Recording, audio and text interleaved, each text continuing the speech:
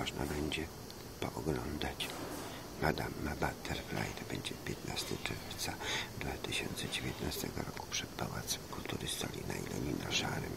To może i to opera japońska, proszę Państwa. Dość długa, z przerwą. No, zapraszamy tutaj. Może to będzie lepsze.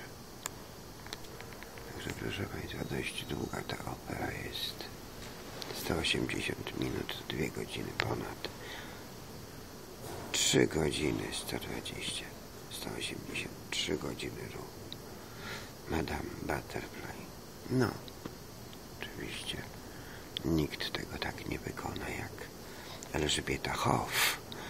Proszę Państwa, no ale te wszystkie artystki, które śpiewały w Teatrze Wielkim, to nawet i Modrzejewskiej nie ma na bocznej lewej ścianie, czy może i prawej też. Tam też portrety takie, ale ogromne portrety wisiały. Czy to nie lepiej, żeby te portrety wróciły na e, ściany foyer Teatru Wielkiego, Teatru Wielkiego, scena operowa, największa na świecie. A taki butel zrobili, proszę Państwa, tutaj, gdy jesteśmy na zawsze. Zamieszanie, zakładanie, studenci przychodzą. Będą uczestniczyć w konferencji, proszę Państwa.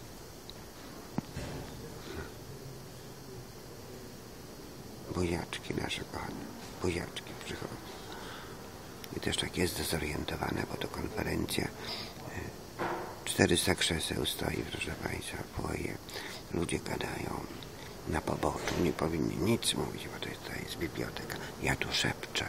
Państwo zobaczą, ja tutaj szepczę.